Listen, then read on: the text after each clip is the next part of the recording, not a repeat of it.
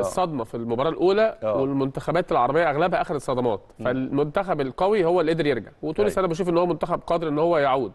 وممكن يعود النهارده قدام جنوب أفريقيا ويتأهل في المركز الثاني المجموعه الأخيرة المجموعه السادسة واللي برضه هتلعب النهارده بس ماتشاتها هتبقى الساعة 10 مساء. آه، مجموعة منتخب ال- المغرب طبعا منتخب المغرب والكونغو الديمقراطية وزامبيا وتنزانيا مجموعة آه، فاجئ فيها المنتخب ال- الكونغو الجميع طبعا والمدير الفني آه، دي صابر اللي كان سبق ليه إن هو اشتغل في مصر قبل كده مع النادي الإسماعيلي عامل منظومة لعب جماعية في زي ما زي ما قلت لك يا أحمد يعني يمكن عمل عرض مميز قوي أمام آه، زامبيا وعمل عرض مميز قوي أمام منتخب ال- المغرب. تعادل في المباراتين ولكن أعتقد النهارده إن هو هيفوز علشان يواجه منتخب مصر كأفضل تواني مع أفضل تواني من مجموعة منتخب مصر.